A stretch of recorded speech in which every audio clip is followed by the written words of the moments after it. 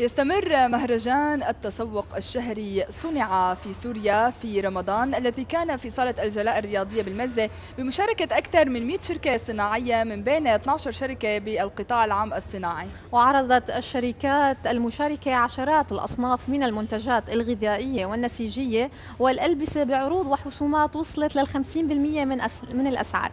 لنحكي أكثر عن تفاصيل المهرجان ونتائجه بصرنا نرحب بضيفتنا مدام وفاء أبو لبدة عضو مجلس الإدارة في غرفة صناعة دمشق وريفا ننقل لك رمضان كريم يسعد صباحك. يسعد صباحك أهلا وسهلا فيك مهندسة وفاء. الله يخليك. آه اليوم المهرجان مستمر ل 27 شهر لكن من بدايته لهلأ كيف لمستوا هالنسخه وخاصة إنه يعني تم افتتاحه بشهر رمضان. تماما. هو المهرجان قائم من ثلاث سنوات. هي دورة الأربعين للمهرجان. دورة الأربعين وصدفة أنه بشهر رمضان. وطبعا رمضان كريم ورمضان خير على الكل.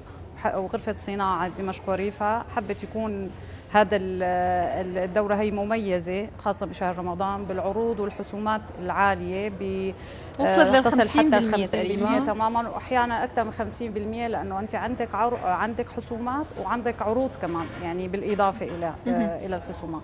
طيب خلينا نحكي عن أهمية إقامة هيدا المهرجان صنع في سوريا ضمن الظروف المعيشية اللي عم نعيشها. يعني نحن عم نعيش يمكن حياة معيشية صعبة غلاء بالأسعار وحرب تتعرض لها سوريا. نحن عم نقوم بهيدا المهرجان كمان برمضان يعني كمان الناس عم تلاقي في تفاعل كتير كبير. آه طبعا المهرجان له أهمية كبيرة للمستهلك في آه برمضان بالذات يعني نوع من التدخل الإيجابي.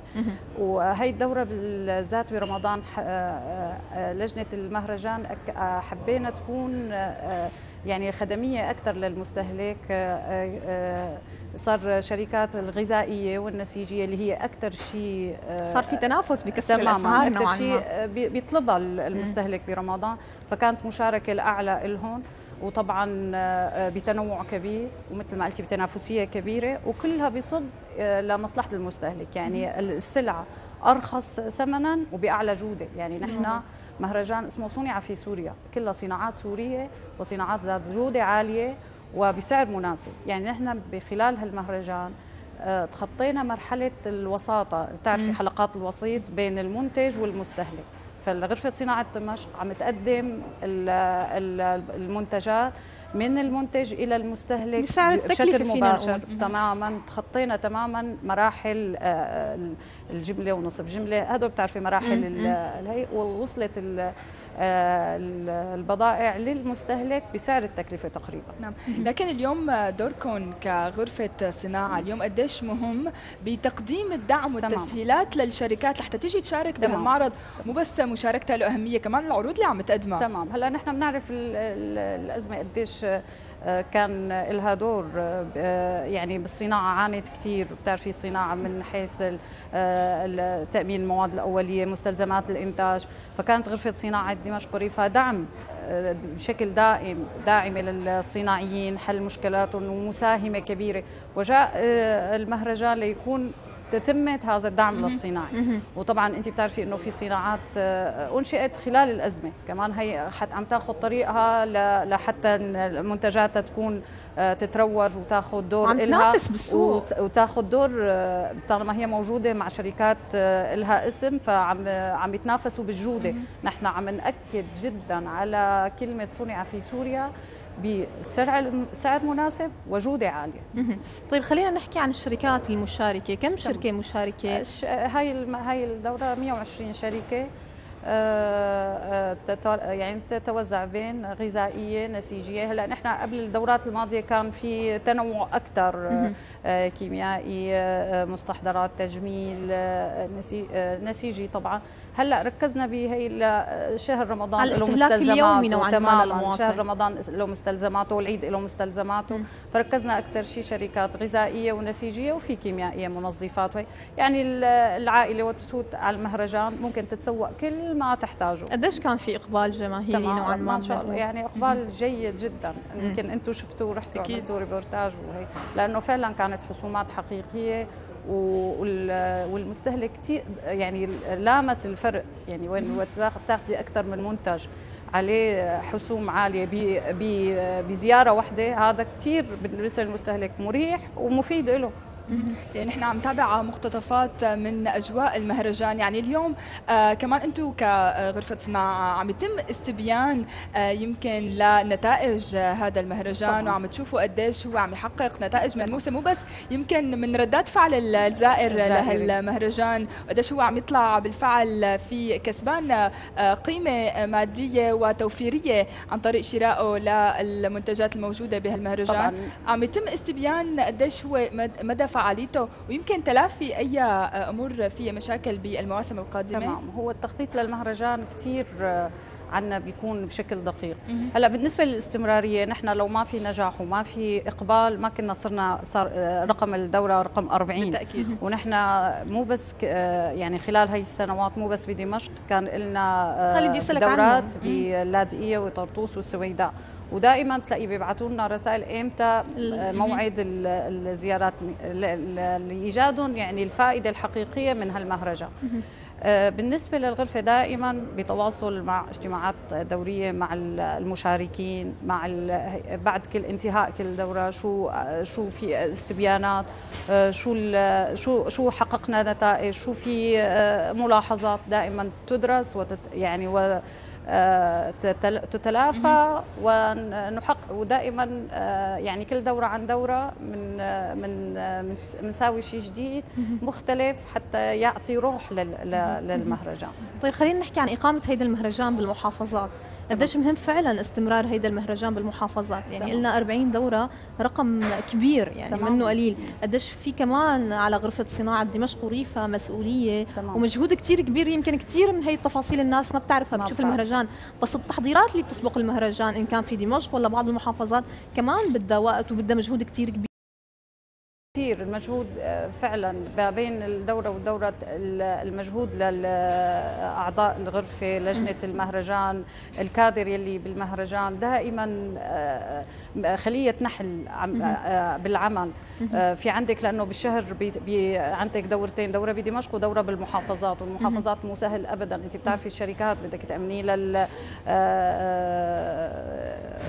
يعني وصولا للمحافظات الدعاية المطلوبة الدعاية الناحية الإعلامية.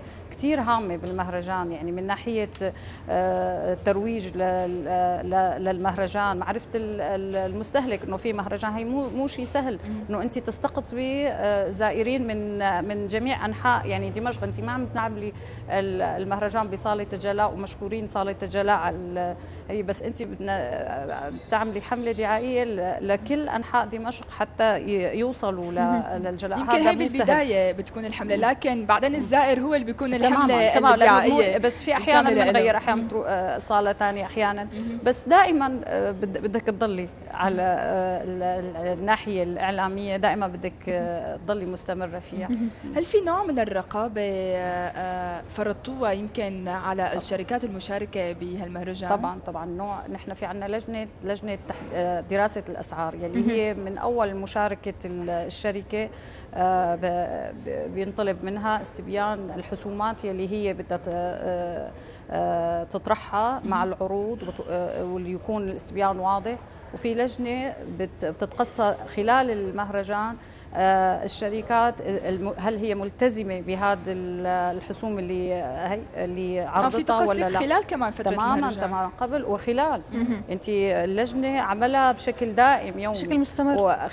الحسوم المعروضة والأسعار الموجودة يعني مناف... يعني بت... بتقارنها مع سعر السوق. هذا كثير مهم عنا. الزائر يلي يجي على المهرجان يعرف حاله إنه هو عم ياخذ شيء مختلف عن السوق. فهي اللجنة هي مهمتها وبيعرفوا الشركات شلون دائما في رقابة على أكيد وهيدا مهم كثير للمواطن السوري ضمن الظروف اللي هي لل... لل... للشركة لأنه حتكون مستمرة بالمهرجان والنفع الأكبر للمستهلك. طيب خلينا نحكي بعد هيدا المهرجان شو التحضيرات لغرفة صناعة دمشق وريفا؟ شو الجديد اللي ممكن هلا فعلا يكون قريبا. هلا هون المهرجان هلا في عنا حدث كثير مهم يلي هو معرض دمشق الدولي. حيكون غرفة صناعة دمشق وريفا لها دور كبير.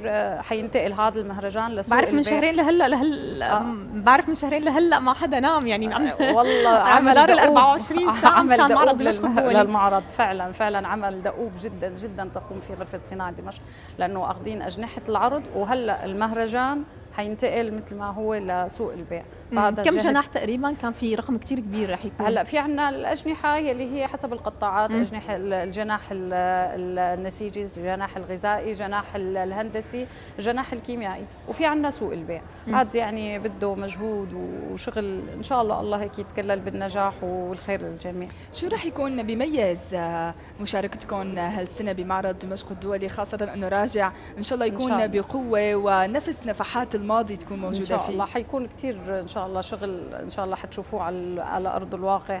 بالنسبة ل يعني حينتقل سوق المهرجان بتفاصيله. بكل معالمه لسوق البيع بس طبعا حيكون عروض أكثر وكثير يعني عم عم يتساوى شغلات كثير إن شاء الله تعالى نحكي بعض التفاصيل للناس لأنه بنعرف إنه بعد انقطاع ست سنوات للمعرض تمام.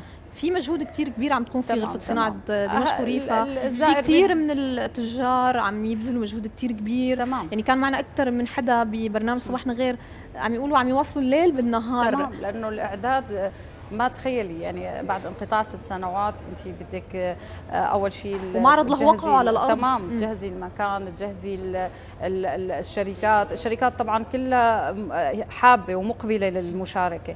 آه، التنسيق والعمل والتخطيط والترتيب الأمور واللي هي لحتى يطلع بأبهى حلية بعد هذا الانقطاع وإن شاء الله بيطلع آه، يعني بما تستحقه بكلمة سوريا. وسوق البيع طبعا بده يعني عم ينشغل عليه بحرفية يعني لحتى يفيد المستهلك. هلأ المستهلك بهمه إنه هو شلون بده مؤمنة من بنحب نطمنهم إنه بالنسبة لوصوله لأرض. حتى تأمن آه، مثل السنوات السابقة يعني في تماما مواصلات. تماما. نفس هي وعلى أكثر يعني هلأ هي حيكون له خصوصيه حابين إن شاء الله المواطنين يشوفوا شو آه، المنتج السوري اللي صمد كل هال كل هالخمس سنين وما زال قائم وما زال الحمد لله عم يعني بالرغم من معوقات كبيرة. يعني كان إلى بتعرفوا الصناعة قديش يعني هي والمجال والمجال وكل المجالات يعني إلى لاقت معوقات ولاقت بسبب الحصار المفروض على سوريا حصار تأمين مستلزمات الإنتاج تأمين المواد الأولية تأمين العمالة تأمين هي كلها آه، معوقات أدت ل يعني إنه الصناعي اللي, اللي عم يشتغل فعلا فعلا ترفع له القبعة. وحابين المستهلك يشوف الصناعة اللي ما زالت بإذن الله مستمرة وقوية والمنتج اللي هو يلاقيه سعر مناسب والجوده العالية. أنتم بتعرفوا الصناعة السورية قديش لها آه، وقع ضمن الصناعات دول الجوار والهي. فما زالت الحمد لله الصناعه السورية لها وإن شاء الله مستمرة. وإن شاء الله حن حنبرز هالشيء آه، بمعرض دمشق الدولي. إن شاء الله. يعني هالمهرجان ومشاركتكم أيضا بمعرض دمشق الدولي إن شاء الله. آه، رح يكون أكيد مو بس فائدة للشركات المشاركة وأيضا للمواطن يلي رح يستفيد بشكل كثير كبير من هالمهرجان. أيضا عم يكون في تنشيط للعجلة الاقتصادية طبعا. الداخلية وأيضا الاعتماد والاكتفاء الذاتي من منتوجاتنا يلي بتحمل اسم صنع في سوريا. هلا تماما مثل ما قلتي وله خصوصية معرض دمشق الدولي إنه حيكون في آه، زوار آه، آه، من خارج القطر. هذه هي نحن اللي عم نشتغل عليها لنورجي إنه ما زالت الصناعة السورية فخر وما زالت صناعة لها اسمها العريق وستستمر.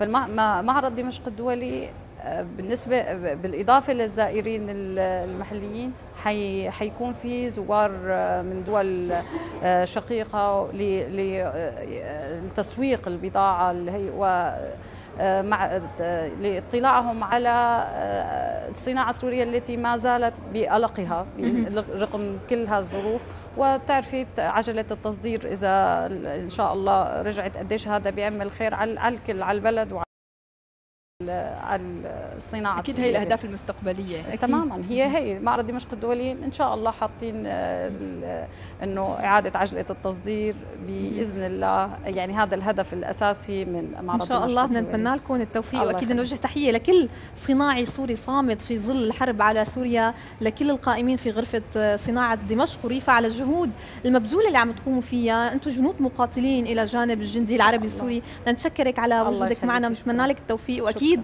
لنا استضافات أخرى عن معرض دمشق الدولي. شكرا. أكيد. شكراً شكرا كثير. كثير لك المهندسة وفاء أبو لبدة عضو مجلس الإدارة بغرفة صناعة دمشق وريفا شكرا كثير لك. شكرا لكم.